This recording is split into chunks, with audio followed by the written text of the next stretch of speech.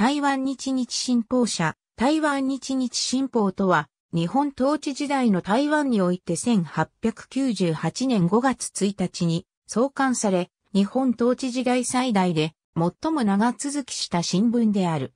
1896年に台湾新報が初代台湾総督、川山助則と同郷の民間人により創刊された。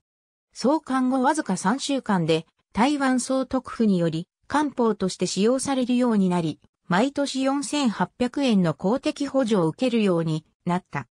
その後、台湾日報が第二代台湾総督の桂太郎の支援のもと、桂と同郷の民間人により創刊された。総督府による年間2万5千円の公的補助を受けるようになった。各して台湾でに大政府系新聞が登場すると思われたが、両氏は既得権益をめぐる対立に起因し、かつ両氏がそれぞれ薩摩系と長州系とみなされたことも加わり、激しい競争を開始した。政策面でも一方が賛成すれば、自動的にもう一方が反対する論調を繰り返し、両指揮者が市内で乱闘を行うこともあった。このような状況のもと、第四代台湾総督、小玉源太郎下で民政長官を務めた後藤新平は上位下達と官民医師の疎通の手段を整備することが急務と感じ、両氏を速やかに統合しなければならないと考えた。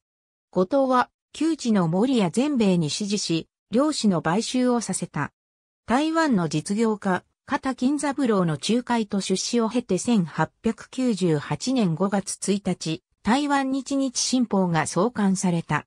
また、新聞報道とは別に、総督が交付する行政や司法関係の命令を掲載する不法及び台北及び新築で州法を発行した。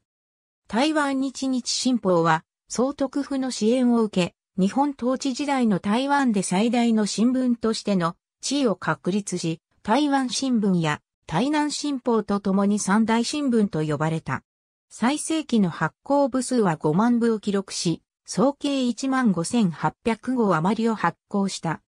1901年11月より、8面のうち2ページを中国語版とし、1905年7月からは、漢文台湾日日新報の名で4ページの独立した新聞を発行した。しかし、1911年には財政困難の理由により、日本語版の中に2ページの中国語版を付す姿に戻された。この中国語版も1937年4月には総督府の公民化政策により廃止されることになった。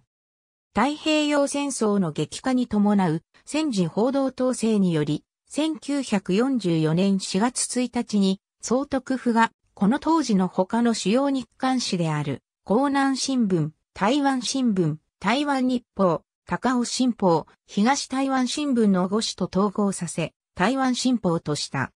この台湾新報は戦時下の厳しい紙事情に関わらず、発行部数16万7千部であった。